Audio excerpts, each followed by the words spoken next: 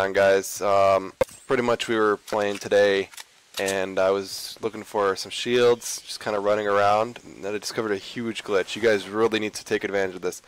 This glitch is, uh, so if you can see on my mini map up here, it's right outside of Greasy Grove. We got this, um, uh, right next to Shifty Shafts. In between both of them, we got this shed here.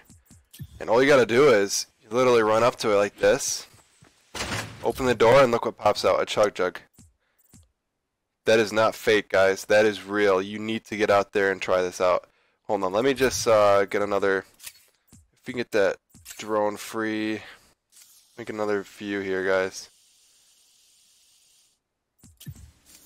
Yeah, so, just to prove to you guys this is not fake, this is 100% real, guys. Look at this. I'm running up here. Watch what happens when I open the door. Boom. Chug. Out of nowhere.